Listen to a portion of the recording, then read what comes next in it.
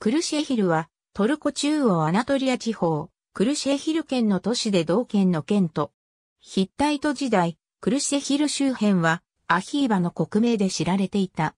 ローマ時代、ビサンティン時代にはカッパドキアの名前も使用されていた。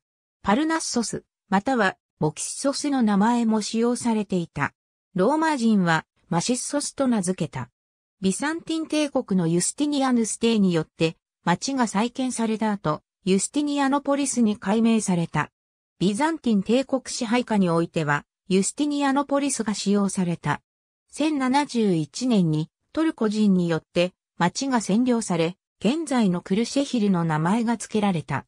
トルコ語の KR3 は草原の町の意味である。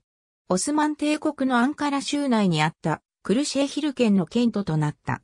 県には8000人が住んでいて、大半はイスラム教徒であった。19世紀にクルシェヒル県はアンカラ県に統合された。1921年クルシェヒルはクルシェヒル県の県都となった。1921年と1931年にケマルアタチュルクが町を訪れている。ありがとうございます。